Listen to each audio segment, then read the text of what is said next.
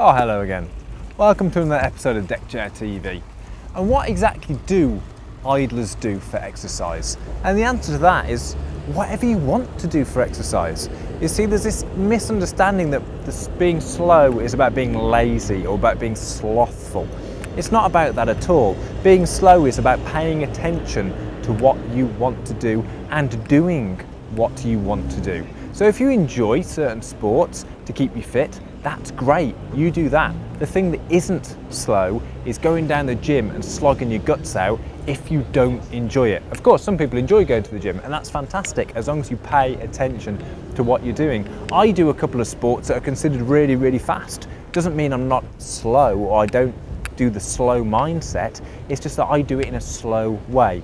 So when you're thinking about keeping fit or doing exercise, just think about things that you enjoy doing things that you enjoy that will keep you fit. Maybe take up a sport or a hobby that gets you out there and gets you moving around rather than just being sat around all day um, in your deck chair. So until next time, I'll see you again soon on Deck Chair TV. Goodbye.